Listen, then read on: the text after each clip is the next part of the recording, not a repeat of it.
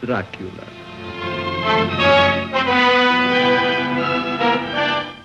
A moment ago, I stumbled upon a most amazing phenomenon.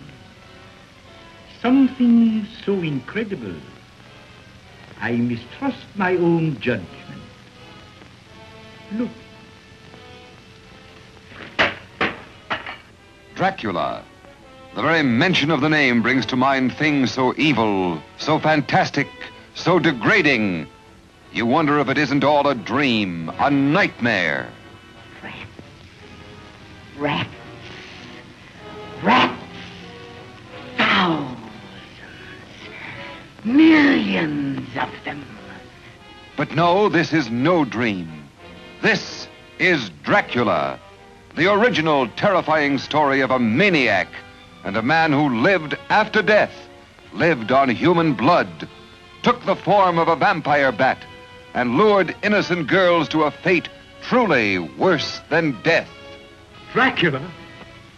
Oh, what, what's he done to you, dearie? Tell me. He came to me.